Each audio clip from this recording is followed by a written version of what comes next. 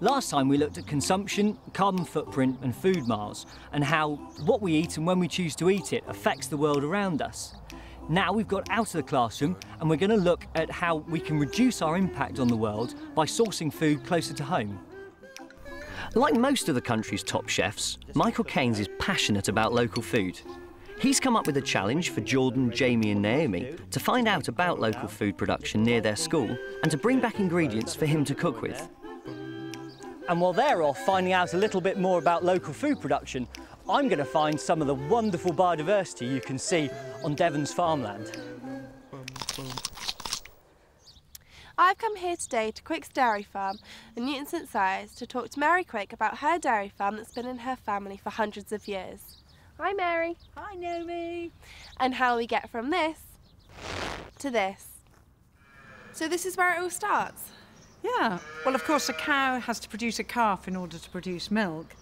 And also, these or their sisters will be the milking cows when they come to produce a calf themselves.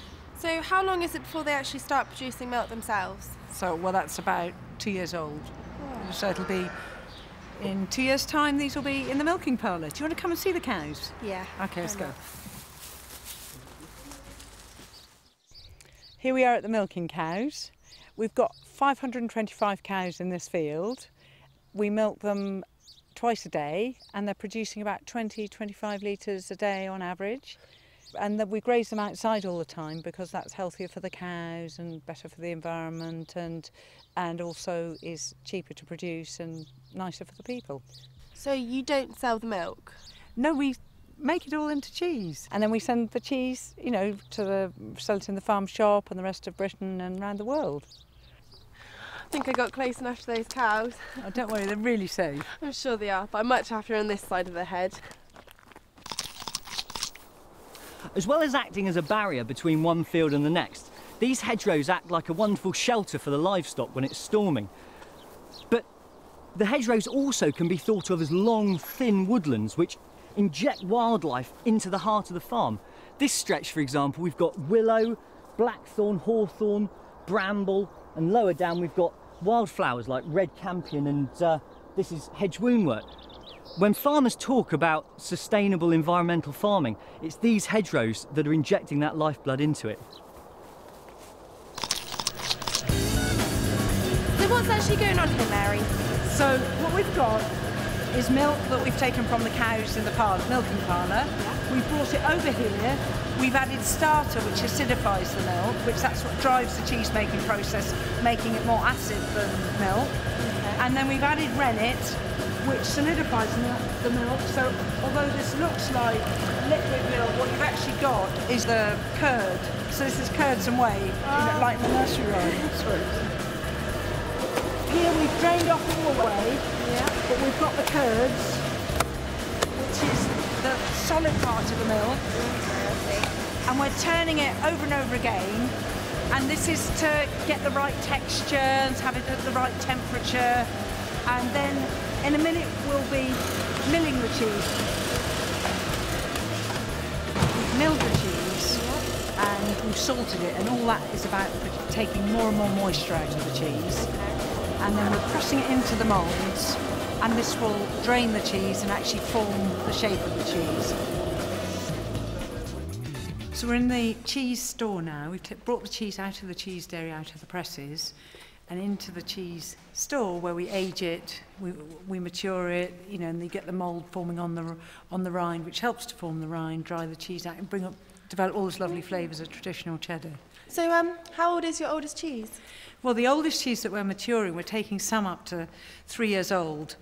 Do any of these get sent abroad? Yeah, in fact, those three-year-old cheese are maturing to send to Australia. We send it by ship rather than air freight, so it's not so carbon heavy. So can I buy these locally? Yeah, sure. Would you like to come and taste some at our shop? Sounds great. Okay, come along. Now, I just have to ask you, do you like cheese? Yes, I do. Oh, okay. First of all, we'll try some mild cheese. So now we're going to try some mature. Here's some smoked cheese.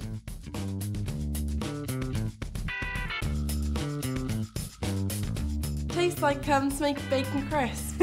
yeah. So what are you going to be cooking for Michael? Devon rabbit. Okay, so which we've got mild cheddar, mature cheddar, or smoked? I think the mature. Okay, yeah. Thank you. I've come to Four Elms Fruit Farm here in Sidmouth to talk to Richard Smedley. Hi, Richard. Hello, Jamie. So I know it's quite obvious, but what do you grow here? Well, primarily we grow dessert apples, Cox's orange pippins, russets, Braeburns, and Bramleys, and we're also producers of apple juice. And I also noticed that there was a few beehives um, down there. Do you also produce honey? We don't produce honey ourselves, but a local beekeeper keeps his hives on the farm, which are absolutely essential for the pollination of the orchards during May. Insects are important to farmers and for more than just pollinating fruit trees. You can think of invertebrates as some sort of natural pest control system in the farm. This field will be full of small invertebrates living in amongst the grass, and that's why I brought this sweep net. I'm going to go out, have a little sweep around, and see what I can find.